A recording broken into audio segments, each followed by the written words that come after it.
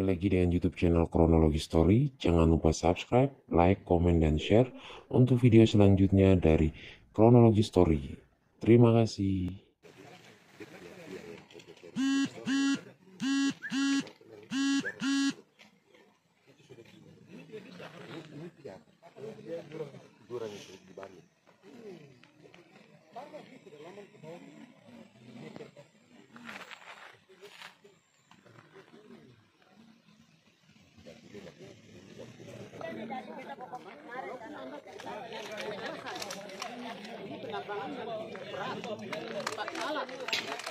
Harus ada punya izin dari negara. Kalau tidak ada punya izin, itu nanti masalah.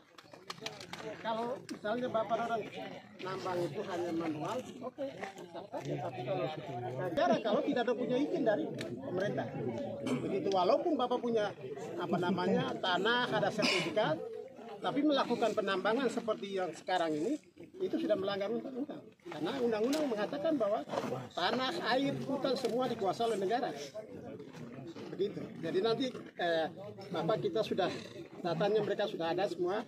Kita akan rapatkan dulu dalam satu dua hari depan. Kita rapat bicara dulu baru kita lakukan eksekusi. Saya pikir cukup ya, cukup ya. tidak ada masalah lagi. Nanti coba kita akan lihat langkah yang terbaik. Tapi demikian pertemuan kita di pagi, di pagi menjelang siang ini. eh, Ya tadi eh, setelah mendengar laporan dari baik eh, dinas SDM provinsi Papua Barat, tapi juga dari Gakum, kemudian juga dari hasil pembicaraan dari eh, dari kepala dinas lingkungan hidup, eh, kita akan melakukan apa namanya eh, kembali ke kantor dan eh, asisten dua bersama dengan OPD terkait untuk melakukan pertemuan untuk membahas dan masukan-masukan dari semua sektor yang ada untuk apa yang ya, disertai dengan solusi yang ditawarkan. Kemudian nanti dalam bentuk berita acara kita tanda tangan sama-sama untuk langkah-langkah yang harus kita lakukan terhadap uh, apa, apa namanya apa yang menjadi perintah gubernur untuk daerah sini ya, uh, daerah Galiance ini sehingga uh, kami berharap bahwa apa yang sudah kami sampaikan kita harus memberikan edukasi kepada masyarakat di sini yang melakukan penggalian di sini. Memang ini kita tahu bahwa ini kawasan apa hutan lindung ya, tidak ada izin. Tetapi ada yang juga menyampaikan bahwa sudah punya sertifikat. Nah, itu kan kita harus cari tahu, lihat dulu sertifikatnya mana. Ya kita harus uh, cari tahu. Walaupun punya sertifikat, tetapi sebenarnya kalau melakukan penggalian ini tanpa izin itu kan pasti ada proses hukum. Ya jadi memang harus berikan edukasi warga kita kadang ada yang mungkin karena untuk masalah ekonomi mereka juga kadang mungkin tidak tahu tentang regulasi dan sebagainya mereka lakukan ini. Jadi sebenarnya kita yang harusnya memberikan edukasi yang baik kepada warga supaya mereka tahu bahwa oh ini tidak boleh. Dan kalau kita mau melakukan seperti ini harus langkah-langkah apa yang harus kita uh, ambil. Oleh sebabnya saya akan minta untuk Pak As2 bersama dengan kepala dinas dan yang terkait untuk hari ini rapat dan memberikan saran-saran konkret, usul konkret yang tepat untuk kita lakukan uh, putusan untuk apa namanya daerah sekitar sini. Saya kira itu. Kalau bilang master plan-nya itu kapan? Itu karena kita harus bisa lihat potret kita punya ini seperti apa. Jadi jangan bicara-bicara apa nanti itu tahun sekian wah terlalu lama. Ya kita mau sehingga Kenapa ini orang bisa melakukan di sini sini? Padahal kan sebenarnya tata ruang RT RW kalau sudah ada kan tertib sebenarnya. Kita tidak bisa mengambil apa merusak sembarang sembarang tapi informasi saya dengar minggu depan kayaknya RT RW sudah sudah ada. ya. Linsek. ya Barlinsek ya jadi mungkin bisa tahun ini sudah ada sudah rampung maka kita berharap bahwa sudah bisa ada edukasi sosialisasi untuk lebih tertib untuk tata kota ke depan. Ya kami eh, menyampaikan himbauan kepada warga yang kena dampak. Kami turut prihatin ya selaku penjabat wali kota. Kami juga merasa sedih dengan apa yang dialami oleh warga kita. Apa tangisan daripada warga juga tangisan kami pemerintah kota.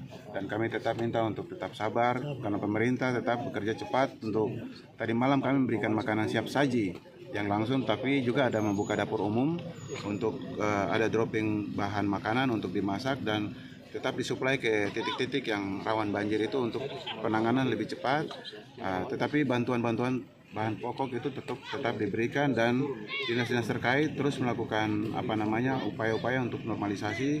Ada saat ini di sekitar Kampung Bugis di mana ini ada jembatan yang mau di di apa namanya di uh, perbaiki apa diroboh itu karena setelah ini saya akan pergi ke sana untuk melihat lagi dan juga ada bantuan yang kita mau berikan juga di apa tadi. Ya. Itu kita mau silen ya. Jadi kita mau kasih terus.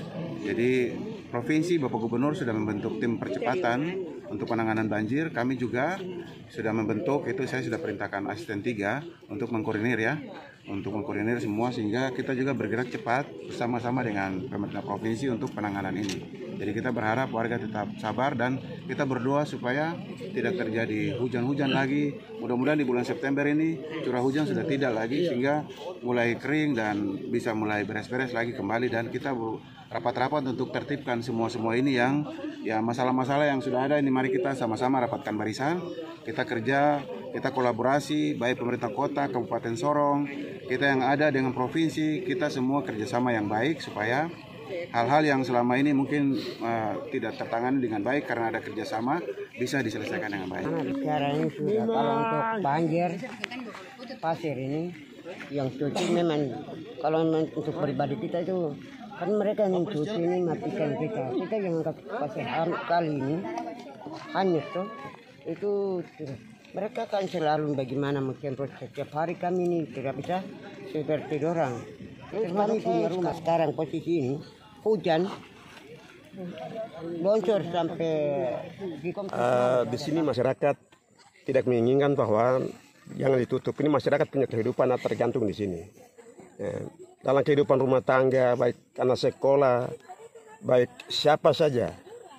Ini kehidupan ada tergantung di daerah ini kami kami mengolah ini dari awal tahun 93 tidak salah kita tanah ini.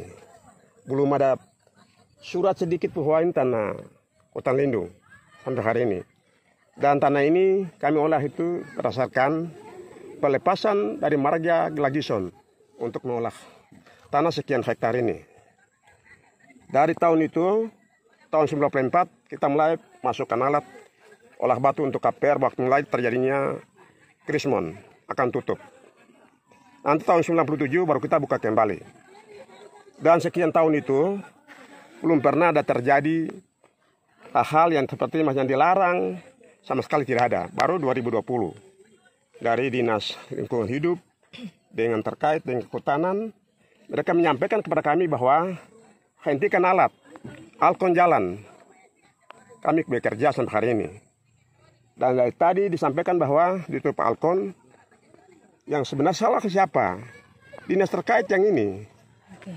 Mungkin seperti itu yang saya sampaikan bahwa ini pemerintah harus jangan keputusan sepihak. Okay. Libatkan kami yang ada sini masyarakat dan seluruh masyarakat yang ada sekitar ini di Kolam Buaya, di Melanu melibatkan kita semua harus sama-sama kita harus dengan pemerintah dengan dinas terkait kita bicara supaya solusi apa yang diambil. Oke. Mungkin seperti itu di kami harapkan tadi saya sudah sampaikan bahwa kalau pemerintah menegaskan kami masyarakat kami akan menduduki wali kota Solo. Dia sebagaimana untuk melihat kami masyarakat yang ada di Galian C di kilo 10 ini. Mungkin seperti itu yang saya sampaikan. Banjir ini bukan siapa-siapa ini Tuhan yang menciptakan langit dan bumi. Tuhan menciptakan langit dan bumi, di situ ada manusia hidup manusia hidup itu ada air, ada hujan manusia hidup. Supaya manusia hidup ini menikmati semua ini. Bukan kami megalen itu langsung alam langsung akan banjir tidak. Ini Tuhan ciptakan hujan, panas, siang dan malam. Ini bukan manusia siapa wali kota, Pak Gubernur, Pak Presiden tidak. Ini alam. Pertama alam Tuhan yang ciptakan hujan. Uh, untuk sementara ini jangan sepihak, harus melibatkan kami semua harus eh, pertemuan dengan SKPD yang ada di Kota Sorong harus melibatkan kami semua bicara. Eh, eh, belum sampai hari ini. Sampai hari ini belum realisasi. Mulai dari tahun sekian kami kerja sini. Mulai dari tahun 2020 itu baru mulai dorong pihak kehutanan dengan lingkungan hidup menyampaikan hal ini sebagai hutan lindung. Dan tahun 2020 itu mereka menertibkan semua alat alat berat eksa dan mereka menyampaikan bahwa kami pakai mesin kerja manual. Oke.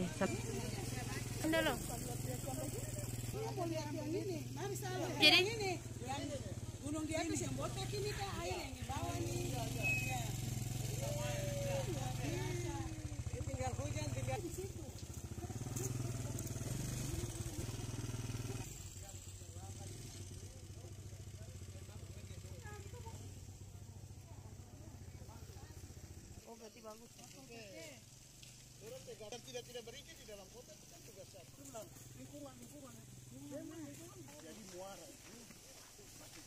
di situ.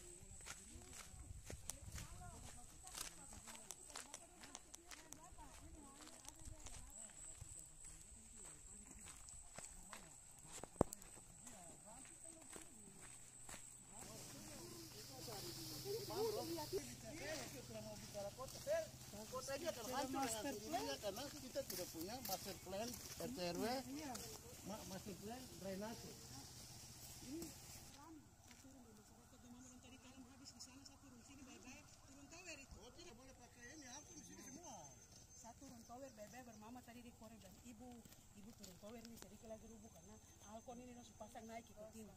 Leo kau stop sih turun.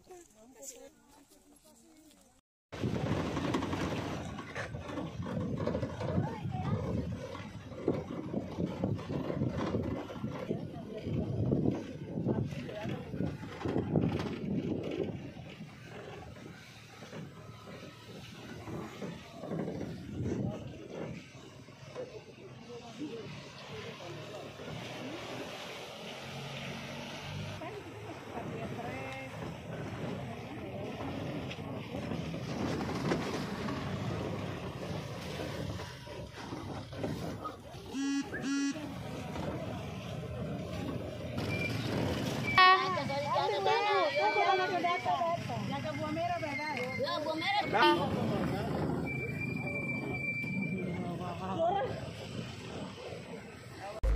kasih telah menonton video di YouTube channel Kronologi Story. Jangan lupa subscribe, like, komen, dan share.